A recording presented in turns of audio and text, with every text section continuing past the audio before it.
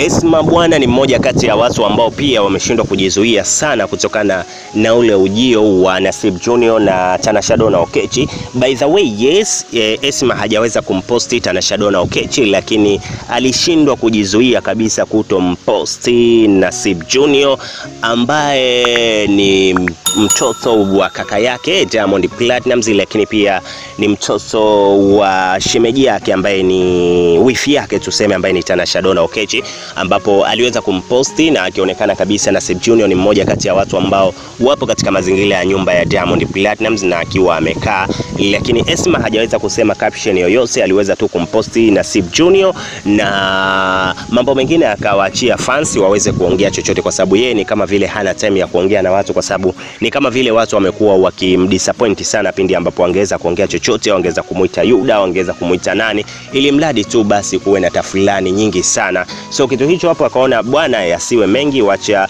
maisha mengine yaendelee. So una maoni gani kutokana na situation hiyo hapo? So unaweza kudrop comment yako hapo chini, lakini pia usahau kusubscribe, lakini pia kuweza kutani on notification yako ili kwanza kupata update zetu.